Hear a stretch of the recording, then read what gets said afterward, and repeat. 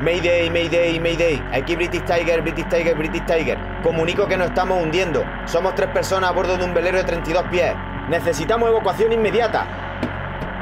Si el barco se hunde o hay un incendio a bordo y debe abandonar la embarcación, entonces tu vida y la de los demás depende de la balsa salvavidas.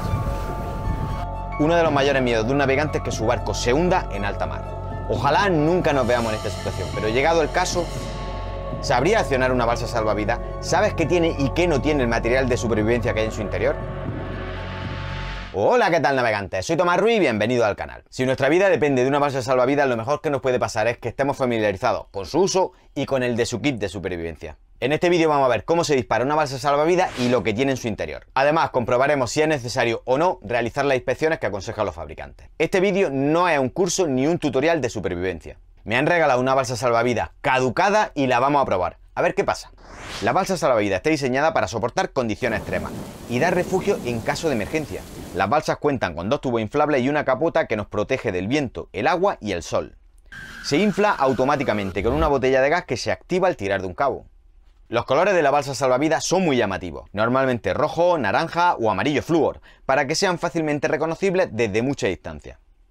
Cuentan con cintas reflectantes y una luz en la parte superior para ser visibles de noche. Además tienen cuatro bolsas, que están diseñadas para llenarse de agua y aportar estabilidad, evitando su vuelco con mala mar. Normalmente solemos ver las balsas salvavidas embaladas en contenedores rígidos, aunque también se hacen bolsas resistentes, como la que yo llevo en el barco. Cualquiera de los dos sistemas se abre automáticamente al accionar el disparador de la balsa como veremos a continuación. Estos embalajes protegen la balsa y garantizan que funcione perfectamente llegado el caso. Las balsas salvavidas tienen diferentes tamaños y esto depende del barco para el que estén diseñadas. No es lo mismo la capacidad de una balsa para un gran crucero tipo el Concordia, o acordáis del Concordia, que para un pequeño velero como este. Antes de empezar con la prueba, debo decir que en mi opinión nunca hay que abandonar el barco a no ser que sea absolutamente necesario. Si el barco se está hundiendo rápidamente, hay un gran incendio o hay riesgo de una explosión inminente, sí se debe abandonar la embarcación. Pero si lo que tenemos una gran tormenta con grande ola y demás, es mucho más seguro estar en el interior del barco que en una balsa salvavidas. Y dicho esto, es hora de probar la balsa. Así que venga, vamos al lío.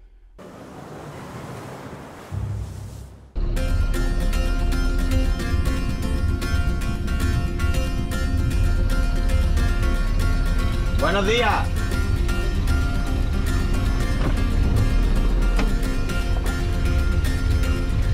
Hola. Hola, buenos días. Mira, a ver si os puedo hacer una pregunta, verá. Eh, no sé a quién tengo que avisar. Voy a probar la balsa salvavidas.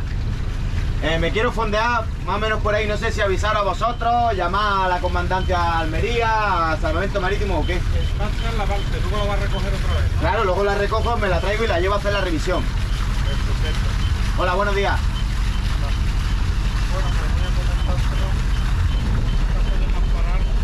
Claro, es que lo que no quiero es que alguien vea la balsa, dé el aviso y, os personifiquéis ahí cualquier historia. Es la playa San Miguel o playa de Poniente de Almerimar. La playa de Corriente de Almerimar. Vale, de acuerdo. Muchas gracias, muy amable.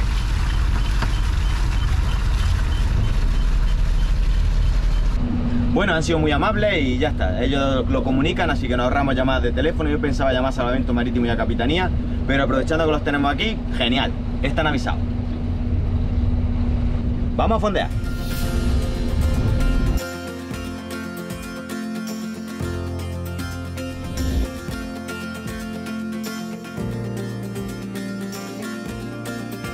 Bien, el motivo de haber avisado a la Guardia Civil es que no quiero que una vez que hinchemos la balsa salvavidas, alguien llame porque la vea, siendo que es una emergencia, y se personifica aquí algún barco de salvamento marítimo, alguna patrulla de la Guardia Civil, algún helicóptero, alguna historia de esa. Entonces, para no alertar, yo creo que lo mejor es comunicarlo, que es lo que hemos hecho, que sepan que vamos a usar la balsa salvavidas, que la vamos a probar, y ya está. Y así yo creo que vamos a estar todos bastante más tranquilos. Esta es la balsa, la que vamos a usar. Si veis la fecha, tiene fecha de 2006, última revisión. O sea que estamos en 2023, han pasado 17, 17 años, madre mía, 17 años. Bueno, veremos a ver si, si funciona o no el, el disparador. Es una balsa para 6 personas, como veis no es rígida, es de bolso. Es como la que yo llevo. Yo llevo una no de esta marca, pero, pero sí que la llevo de bolso también, porque los barcos pequeños es mucho mejor. eh, la puedes activar en muchos más sitios si la llevas de mochila en vez de un cajón rígido. Vamos a coger, que por aquí tendrá efectivamente. Fijaos, uf, mamma mía, me quedo pegado. Mira, mira. Esto lo vamos a atar ahora aquí al barco y, y vamos a disparar esta balsa a ver si funciona el disparador, a ver si todo va bien. Voy a limpiar primero este pegamento para que no me ensucie el barco. Y ahora la disparamos.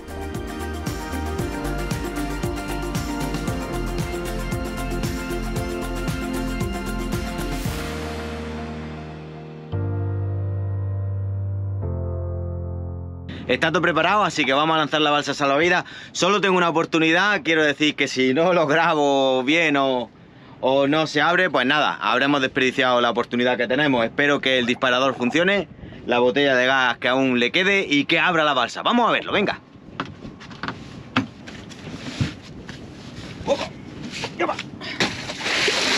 Lo que quiero hacer es que se aleje un poco la balsa del barco ahora para darle el tirón y que no vaya a pasar nada. Así que venga, aléjate. Venga. Venga para la playa. Yo creo que por ahí puede valer, ¿verdad? Venga, vamos.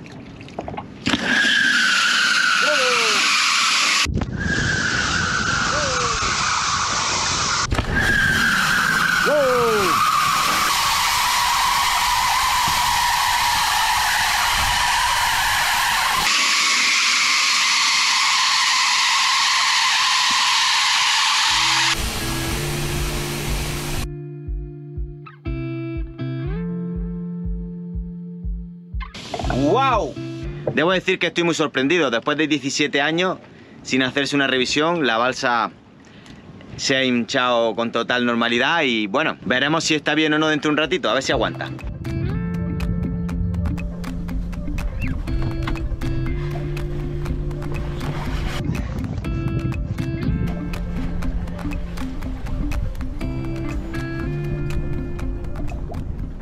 Bueno, bueno, bueno, bueno, bueno, bueno. Vemos que ha fallado aquí una... No sé si se apreciará aquí. Esto se ha despegado. Se ha despegado y se ha salido el aire. Este tiene pinta de estar también por el estilo, así que no lo voy a tocar porque esto es lo único que aguanta la balsa de momento. Entonces... Eh... Menudo chascazo, claro, es que son 17 años. Entonces, el pegamento de esto es lo que no aguanta, ¿de acuerdo? Así que bueno, vamos quitando cosas porque... A ver si...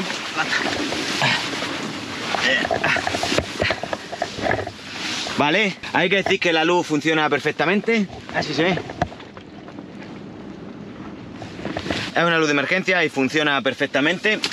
El flotador de arriba sigue funcionando. Parece que no está entrando agua por ningún sitio. Pero bueno, ya la hemos liado. Hubiera sido estupendo para haber podido tenerla totalmente hinchada.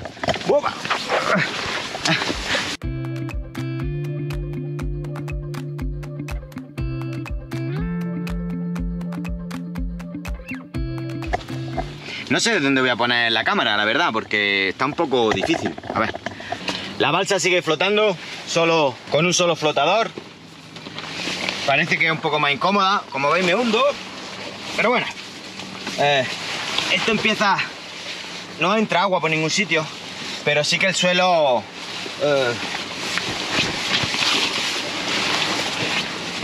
creo que también se está deshinchando.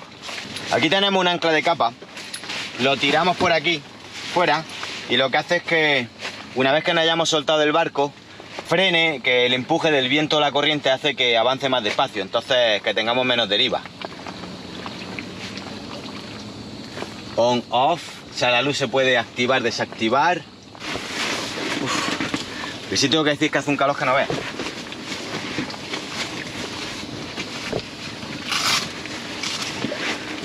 Aquí tiene un, un cuchillo. Tengo que decir que pensaba que las cámaras le iba a colocar con más facilidad aquí dentro. No sé en qué estaba pensando. Bueno, os decía, aquí tenemos un cuchillo.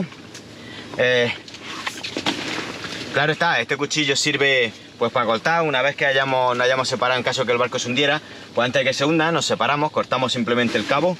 Que además, eh, como veréis seguramente, está muy afilado, es inoxidable. Este cuchillo y algunas cosas más que me sirvan de utilidad para el British me las llevo.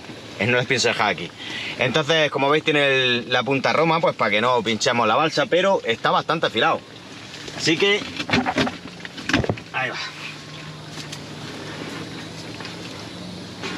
La luz salvavidas viene con una batería eh, Made in Japan. Supongo, y digo supongo, porque después de 17 años no sé, pero se- seguramente sea de litio. Entonces esta luz me la llevo, me la llevo al British seguro. Muy bien, me gusta. ¿Qué más tenemos por aquí? Esto es una bolsa que recoge el agua de lluvia. Aquí viene el tubo, ¿veis? Viene con un tapón también. Y entonces esta bolsa pues se llena de agua en caso de que llueva o imagino que con la humedad de la noche si hubiera bastante. Y en realidad aquí lo tenemos, ¿veis? Tenemos las pequeñas instrucciones. Bueno, no sé si se ven, pero ahí están. Entonces, en un momento dado, pues nos podría salvar la vida, porque el agua, ahora veremos qué agua hay aquí. ¿Qué más tenemos por aquí?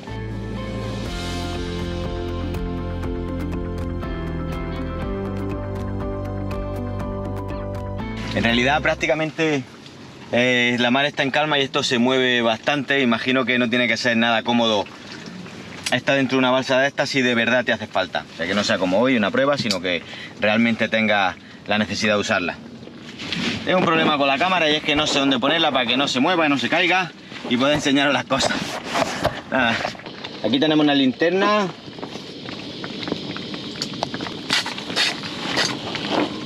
Uh, las pilas.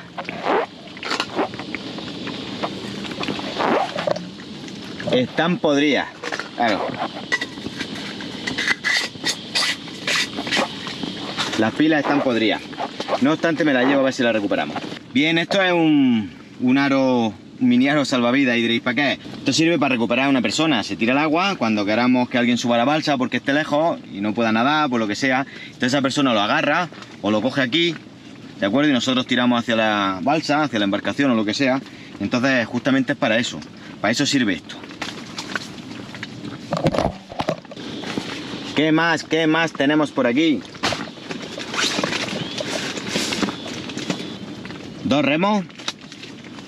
Tienen buena pinta, aluminio y pasta. Son remos pequeños. Por si tenemos que acercar la balsa a algún sitio, bueno, pues una forma de impulsarnos. Esto es lo que parece la lista de chequeo de lo que trae eh, la balsa. Estoy empezando a hundirme, cada vez el suelo va eh, hundiéndose más, esto está perdiendo aire. El suelo, el flotador este también, parece que tiene pierde aire por algún sitio, o sea que no tardará mucho. Voy a darme prisa en enseñaros lo que lleva esto. Aquí tenemos otra, lo que parece una mochila estanca, incluso con flotador. Se ve que aquí tiene una boquilla para inflado. Imagino que será para que flote y no tenés que cargar con él, no lo sé. Y vamos a ver qué lleva.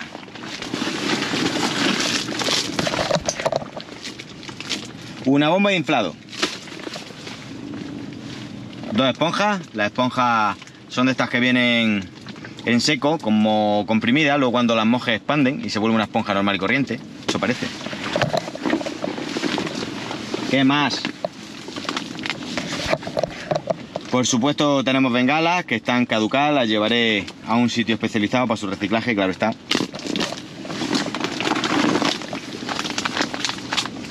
Esto es un kit médico que bueno, trae vendas, imperdibles, manual de instrucciones, para drapo, este tipo de cosas. Y unas tijeras. No veo que lleve... Esto es para lesiones, desde luego. No veo que lleve ninguna biodramina ni nada por el estilo. Tiritas también. Bueno, más cosas que tenemos por aquí. Que no puedo dejar la cámara porque...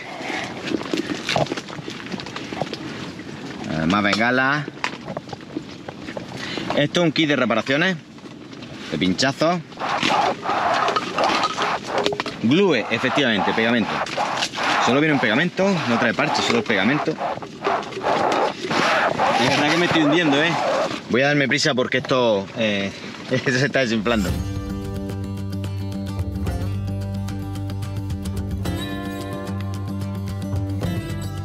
Bueno, también trae un espejo de señales, que esto es muy interesante si queremos que otro nos vea. Si queréis saber cómo se usa, le puse bastante interés cuando me estaba sacando los títulos, así que os puedo explicar algo sobre eso. ¿Qué más tenemos? Bueno, me parece una idea fenomenal que echen protección solar, un manual de instrucciones de cómo dar la vuelta a la balsa y aquí nos dice que, a ver si se ve bien, 2006 fue la revisión de todo. ¿Qué más tenemos por aquí? Bueno, ¿y esto qué se supone que es? Esto es agua, agua, agua, agua, agua. Muy bien, agua. No sé si me la quiero beber. Bolsa, bolsa estanca. Hay más cosas aquí, ¿eh? Bastante más.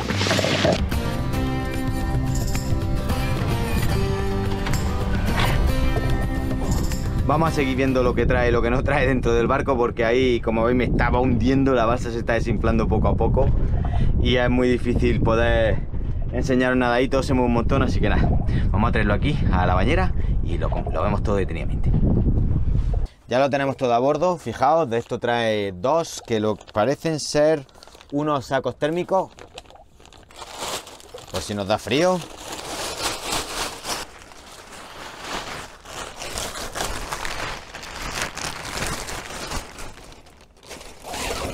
Pues no tiene muy buena pinta, pero imagino que si hiciera mucho frío sería algo ideal para guardar la temperatura. De hecho, de momento lo noto, cómo se concentra el calor. Muy bien. Creo que es mucho más práctico que una manta térmica. El típico silbato para pedir ayuda. Un bolígrafo y ya está todo. Veamos el agua. Siempre he tenido curiosidad por saber esto. Este tipo de agua.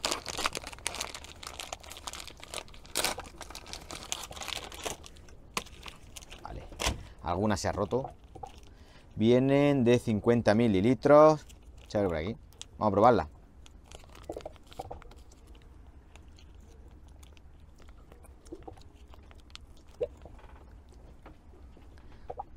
Pues en realidad no sabe nada mal, sabe agua.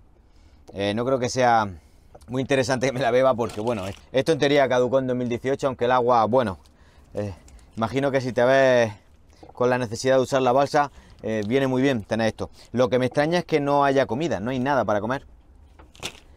Manta sí que hay, pensaba que no había ninguna. Tenemos los remos, tenemos el kit médico que es bastante pobre, eh, con algunas tiritas para drapo y poco más. Algo que tampoco he visto ha sido, no hay ninguna lona ni ningún parche, no he visto ningún parche.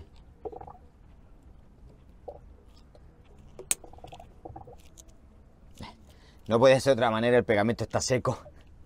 Aquí, cuando le sacamos el aire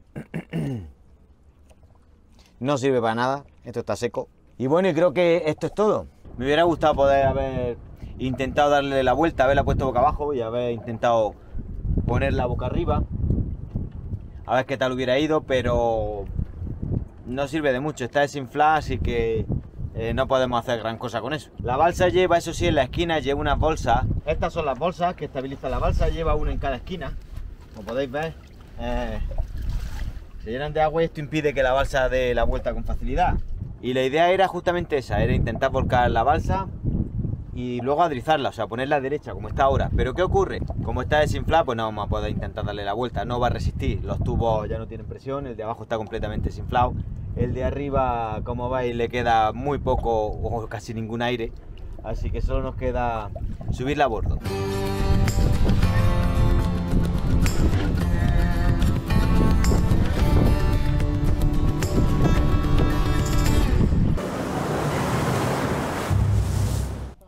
Me parece sorprendente que después de 17 años el disparador haya funcionado, el gas haya inflado la balsa salvavidas. Pero por otro lado, como habéis visto, todo estaba caducado, venga, las pastillas antimareo, absolutamente todo, el pegamento no funcionaba, incluso la balsa pues se ha desinflado, no hubiéramos aguantado el día con ella. ¿Por qué? Porque como habéis visto, las juntas en la mayoría de los casos se despegaban, sencillamente se desinflaban, sobre todo por las válvulas donde he visto que tenía fallos, arriba y abajo.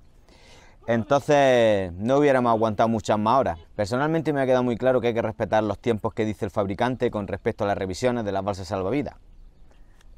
Algunos son dos años, otros son tres, otros son cinco, pero cuando el fabricante dice que hay que hacer la revisión, lo ideal es hacerla. Como habéis visto, llevar una balsa vieja sin revisión durante muchos años es prácticamente como no llevar nada, simplemente lleva un estorbo a bordo. Ahora la balsa la llevaré al punto limpio a reciclar esto, así que nada, espero que hayamos sacado algunas conclusiones en claro de este vídeo. Nos vemos en el próximo. ¡Chao! Recuerda que también puedes seguirme en Instagram y Facebook. Además, puedes ayudar al canal a través de PayPal o comprando merchandising en la página web navegandoyvela.com. Tiene el enlace abajo en la descripción del vídeo. Ya sabes, no olvides suscribirte y pinchar la campanita.